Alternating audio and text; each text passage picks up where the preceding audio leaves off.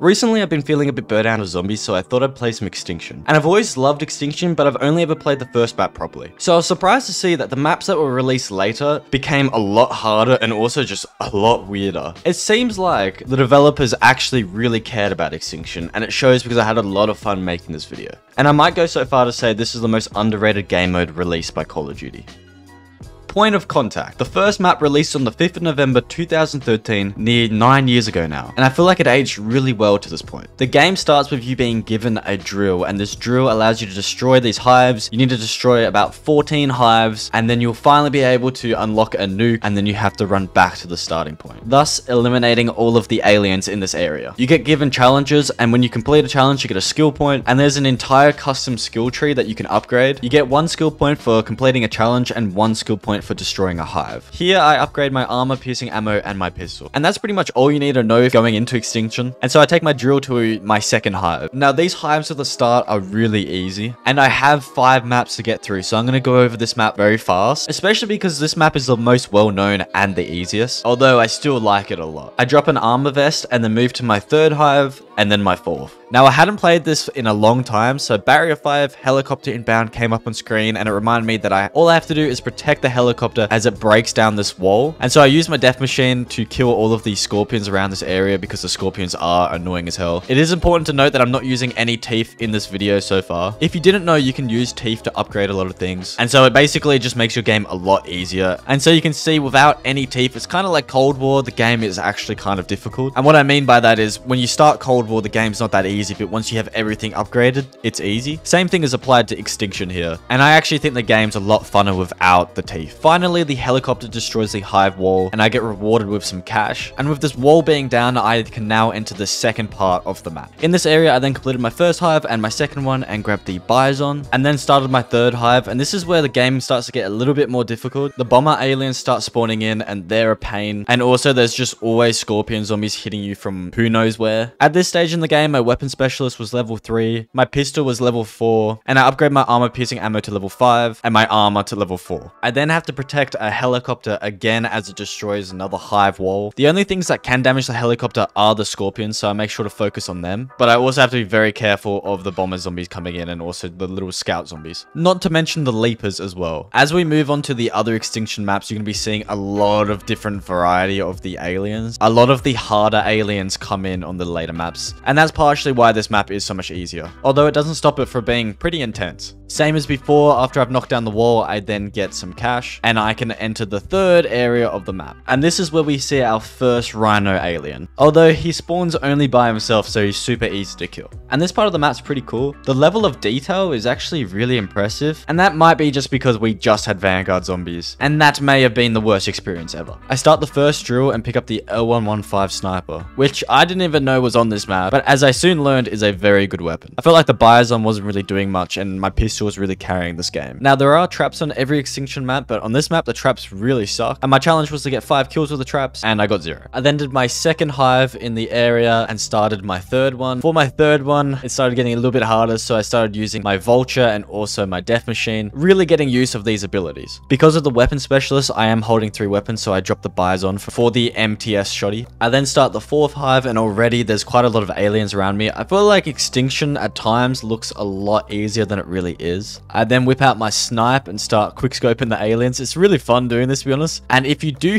headshot an alien, which sounds weird to say, but if you do, it's a one-shot kill on any of the aliens. So, and so I complete the fourth drill, and even in doing so, I have to use my vulture. There's just a lot of aliens around, and then a rhino just comes sprinting over. But honestly, like I said, this map's pretty chill. On the other maps, there's literally blue-eyed rhinos who are five times as strong. And at this stage of the game, I do start upgrading my vulture. The upgraded vulture is really good. I've already got all my necessities nearly fully maxed, and now I just have to upgrade the vultures. And this is the very last hive I have to do until I unlock the nuke. And really, if I didn't have the sniper here, things would have gone maybe a lot more sour. But I had the sniper, and I was hitting my shots, and I was one-shotting all of the scorpion zombies. Even saying that though, about three quarters through, the drill started getting really weak, about 40 health. And so I had to repair it once there was a bit of downtime between the aliens spawning in, and I had a vulture up protecting my, my back. And so that was the final hive, and now I get a tactical nuke. Uh, I interact with the tactical nuke, and then I have four minutes to get back to the spawn. And you can see I am getting hit in the back a lot there, so I chuck down an armor and then start making my way. Now, there are a lot of things happening all at once when you do make this journey. As you saw, there was two scorpions and one rhino that just spawned in, but I just ignore them, run straight past, use my vulture. But unfortunately, you can't just ignore the aliens. You actually have to kill one of the rhinos. I think that's how it works. I'm actually not entirely sure. It might be you just have to kill all of the aliens. I think this is the first time I've actually completed this solo. So I didn't know what I was doing, but after a while, the meteorite blocking the alley went away. And so then another rhino alien spawns in, and I do kill the rhino alien and the meteorite. After a little bit disappears, after I kill the final scorpion alien. And now all I have to do is reach to the helicopter. Now, now this map's ending is so much easier than the other maps. I'm sorry, I've said that multiple times now, but it's just true. But it's still very fun and very cool that you have to make your journey back. It would have been cooler if they maybe made it so you only had three minutes to do it. But I do hop into the helicopter and I can watch as a nuke go off. I do try and get a sneaky kill in there, but I don't think your weapons even register at this stage. And boom. So I did 14 hives and I did that with zero downs.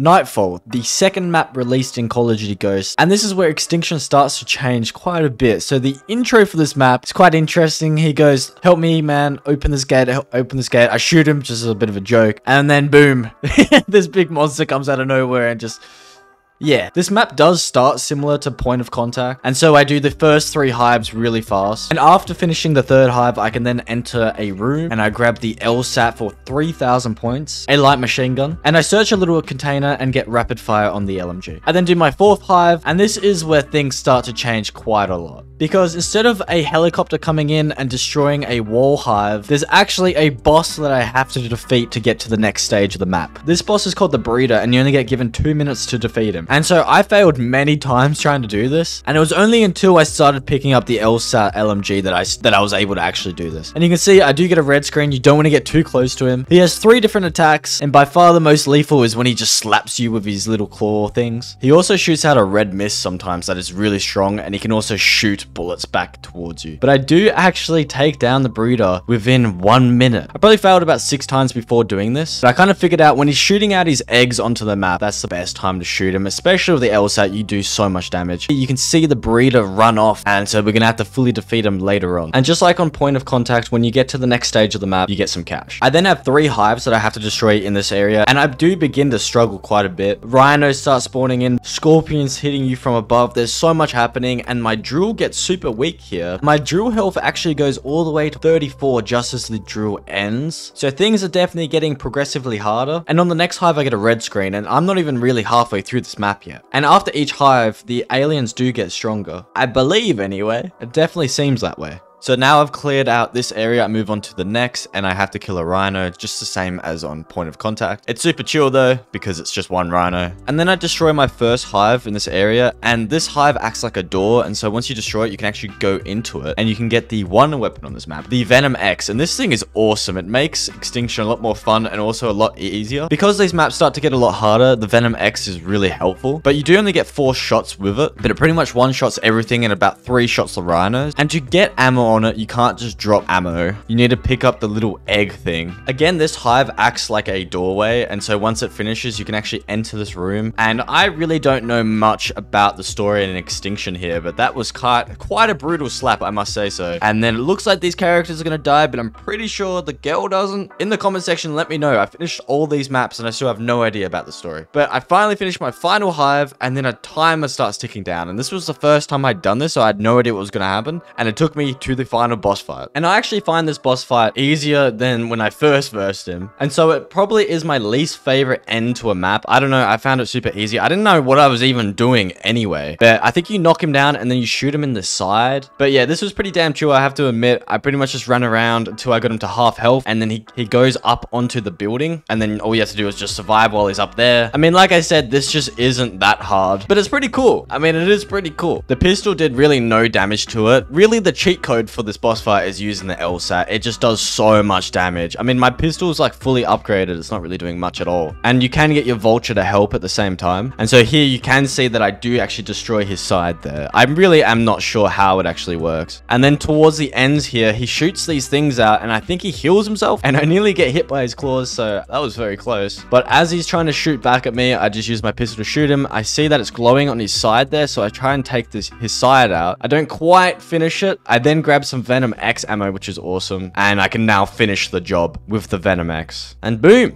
So that is Nightfall done. I do really like this map. It is really fun. But the boss fight at the end is super easy on solo anyway. But it is an experience if you just want to play it once and have some fun.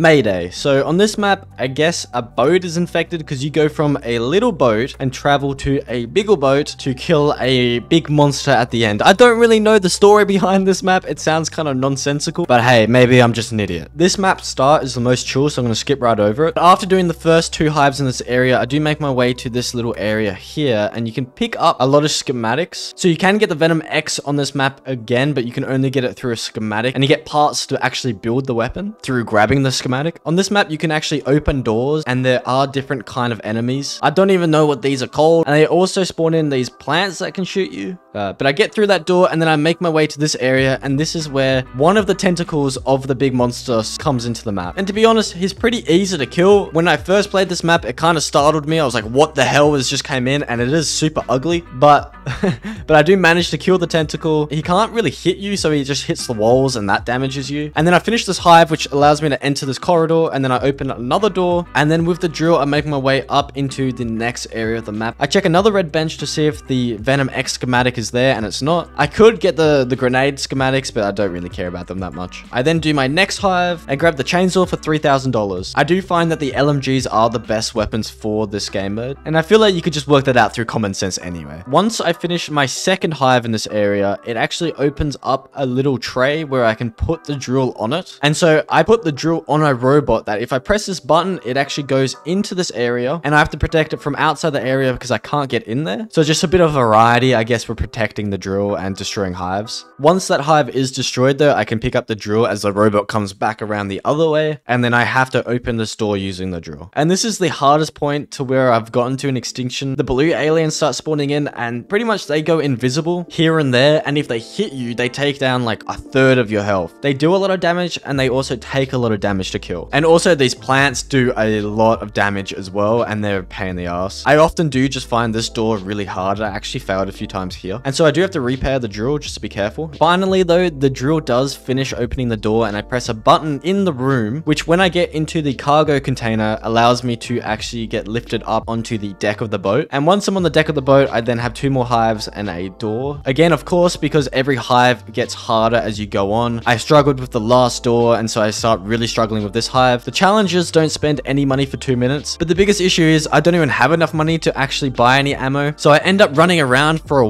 with no ammo just trying to survive. Whilst the drill gets really weak, it gets all the way down to 20 health. And I myself are on low health as well. And I have a blue alien on me that's trying to kill me. Thankfully, the blue alien disappears and also the drill ends. But even then, after the drills ended, there's still so many aliens just coming after me. And I get attacked by the scorpion and then also the blue alien just teleports behind me. I'm not sure if they go invisible or they teleport. I think they go invisible because I'm pretty sure you could hit them when they when they seem to have disappeared. I then get the Venom X schematic and so I open this door because there's a lot of lockers that I can search to get all the parts for the Venom X. Um, and so I look through all of these red lockers and I get the Venom X through three parts. That's just how you build it. And I got the Fire Venom X. So it's called the Venom FX. There's a fire, electricity, and also an acid version. And on this map, there's also like a version that spawns plants. It's kind of like having turns, but you spawn your own turn zombies. It's not as good as the other versions, in my opinion. I was really struggling, but with the Venom FX, it helps so much. I usually just keep it until I get into a really uncomfortable situation, and then I'll just spam it. Or if I get some more ammo, and then I'll use all four of my shots. But I do finish my final hive in this area, and I also get some ammo for the Venom FX. Moving on to the last area with with hives. I finish the first hive and move on to the second one, and a rhino spawns in and also a blue alien. I actually think the blue aliens are stronger than the rhinos, and so I do finish my second hive and then move on to the third.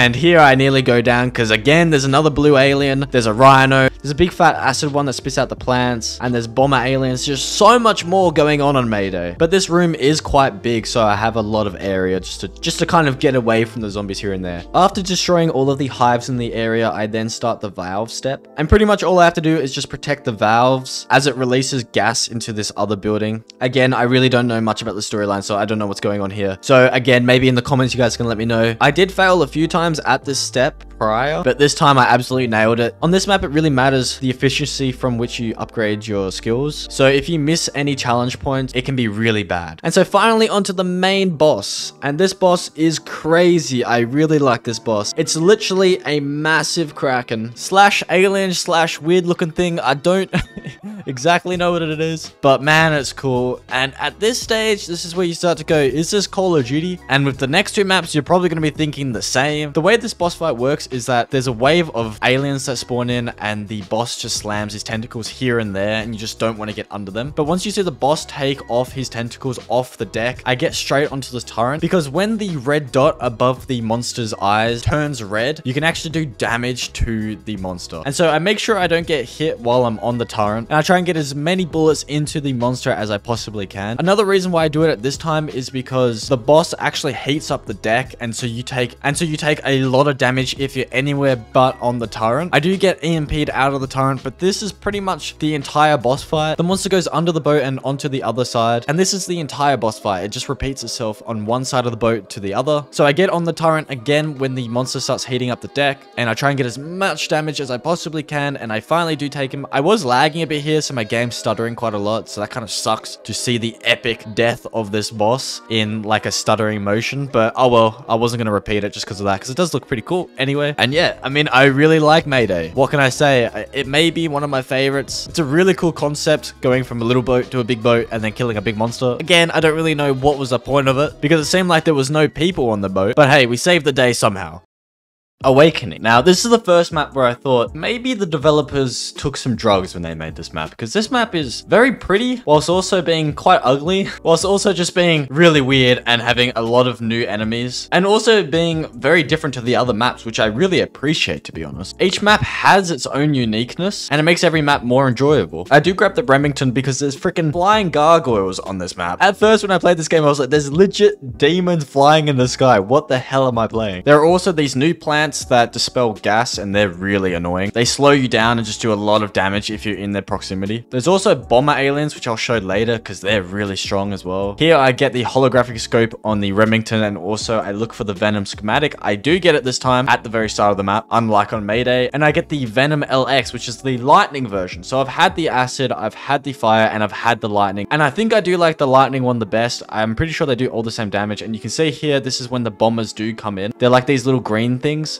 Fortunately, this time they didn't hit me, but a lot of the time, if there's a lot of things going on on the ground on the map, oft times you just won't look in the air to see the bomber aliens coming down to hit you. Another reason why I think they might have been on mushrooms when they made this map is because you can literally jump like 10 meters up in the air on a mushroom. I was trying to get ammo for my Venom LX and I just couldn't get it because I kept just jumping up and down off the mushroom. So once I did finish all of my drilling on this map, I go over to this box here and I can actually call in a vulture and control it and I have to then destroy all of these tombs. So there's like six tombs. This is like the easiest step on any of the maps. Super easy. Kind of fun though. You can get a free points by doing it as well. Uh, so I finished that and then it enables me to move on to the next stage. So each map kind of has this thing where you have to do a step to move on to the next stage. And so for this map, it's by controlling the vultures. And so again, I complete all of the drilling in this area. I'm going through this pretty fast because at this point, we're doing the same stuff, but on different maps with different enemies. I feel like Extinction is one of those modes that's a lot more fun to play than to watch. I do upgrade my Vulture fully on this map. The Vulture fully upgraded is insane. And the entire game, I was always looking in little caves and things for this attachment, the Arc, and I put it onto my Remington because the Arc is really good with the Remington. And also a blue Rhino spawns in, but I have Venom LX, so I just destroy him. The blue Rhino can spawn in more Leapers and Scouts, and he just takes a lot longer to kill. I start my first drilling in this area, and the map does get a lot harder. I failed a few times in this scenario, and and I start getting a lot of red screens. But you can see the arc on the Remington is really fun to use and really strong. If you couldn't get the Venom X or the arc on this map, it would be really, really hard to do solo. Another reason why the arc is so good is that you can take out the gargoyles really easily because they're a pain in the ass. If they start shooting you, they'll do a lot of damage. So once I finish this third area and just and did all the drilling I needed to do, I move on to this temple.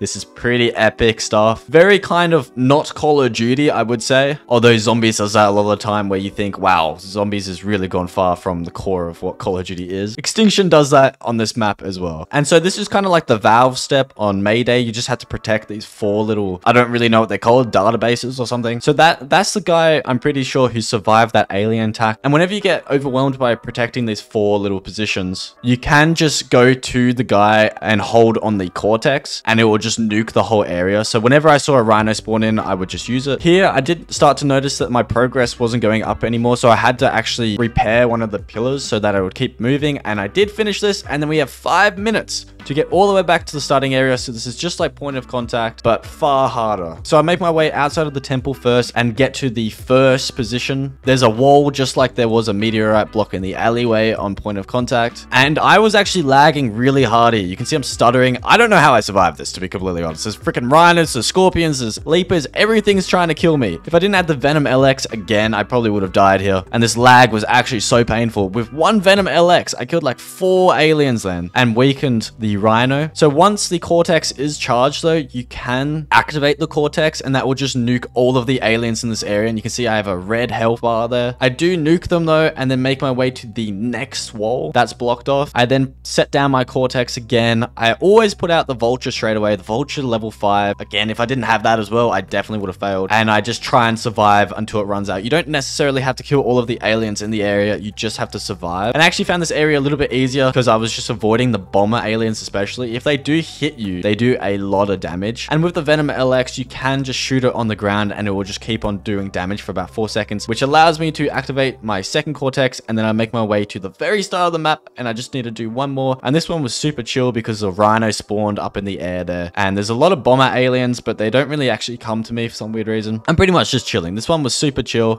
Use my Venom LX whenever I can. And on this map, I did forget to mention there is low gravity. I've gone through this whole map without even mentioning that. There is low gravity, so you jump really high. So if you want to get away from the aliens, you can just jump away. And then I make my way back to the start. This is just like point of contact, but a lot crazier and a lot of fun. I would not, I could not imagine what this would be like co-op. So for this last map, I thought I'd have a bit of fun and use all of my teeth. Now, I, I do have 5,000 teeth. I am max level because I was using IW6X. So I had every single thing unlocked. So I thought it'd be cool if I went into this game, upgrading every single thing that you can with teeth and making myself very overpowered. I also did this because Exodus is just a really, really hard map. So at the beginning of this map, all you have to do is survive 1 minute 30 once you open a door. There's three doors you can choose. I chose this direction. I survived 1 minute and 30 seconds. And now I can enter one of the generator rooms. In the generator room, I go to the red bench and I pick up the disruptor schematic and build the disruptor. So this is a weird looking wonder weapon, but basically it just shoots little blue orbs out. Or you can do a full charge with the 10 max bullets in it, and I'll show you that later. With one of my teeth upgrades, when upgrading my pistol to a muzzle, it actually gives it the arc muzzle. So my pistol is going to be super good. So on this map, it's a little bit different. There's no drill. You just have to turn on these generators and wait until the generator finishes generating, I guess. Once I turn on the second generator, one of the ancestors spawns in, um, and he's really cool. The way I do most of my damage to him is I do the 10 shot charge with the disruptor, as you saw just then. And so he will usually just sit at the window there and do a lot of damage to the generator, but sometimes he will pick you up. And when you're picked up, you can't do anything and you just take a bunch of damage. But nonetheless, it is pretty chill. I then enter the next room. Again, I just had to survive a minute 45 this time. There are gargoyles on this map as well, and my pistol just wrecks them. And there are bomber aliens. Like I said, this map is the hardest in my opinion. I struggled a lot with it. And I move on to my next generator. Finish that generator and then move on to the next. And every second generator, an ancestor does spawn in, but they are pretty chill at this point in the game. One of the other upgrades with the teeth made it so my knife does a lot more damage. I can one knife kill the scouts now. I do go to the bottom of the gas station and pick up the K7, which is one of the best weapons on Extinction I find, but I'm pretty sure it's only on Exodus. I didn't see it on any of the other maps. A very solid weapon. Now, if you look up into the sky, as I'm killing this gargoyle, there's like a thousand gargoyles going in a circle, just hovering over the map. It's pretty insane. And there are new scorpions on this map. I'm not sure if they're on any other map, but they shoot like a more red acid and they do a lot more damage, I find anyway. As you guys can tell, I just played this. I didn't really study it. I don't think there's much on Extinction, to be honest. When I was looking at YouTube videos, it just seemed like no one cared when this game mode came out. I then opened the next door and I have to survive to make it to the next generator area. Two gargoyles are here. They're so funny looking, but it's such a cool thing to put into this map. I really, I really like the gargoyles, even though they're annoying as shit sometimes. I then start my final generators. You can see I take out that blue alien so fast. I then upgrade my pistols fully, and this gives me akimbo pistols. I never did this before because I actually feel like it's worse, but I wanted to see what it'd be like with the double arcs. I then go back to the start of the spawn, and the girl who was attacked by the aliens is here this time instead of the guy. I really don't know the storyline. It's almost like a Samantha Maxis kind of vibe. And then I'm on to the final boss fight already where I have to kill three ancestors, and these guys have a lot of health, and they're quite a pain in the ass to be honest. I try to use my disruptor as much as possible because it does a lot of damage to the ancestor because he often puts up a shield to protect himself. I then get picked up again by the ancestor and nearly go down. I don't think the aliens can hit you when he picks you up, so I was pretty chill then, but I, I did get pretty close to going down even with like tier 3 health and max armor. But I do take out my first ancestor, and then another ancestor comes in from the other way. I take him out, and then onto my last ancestor who comes from the other direction. And I'm going to say this again, but I think Extinction is a lot more fun to play than it is to watch, so I've kind of skipped over this boss fight quite a lot. Because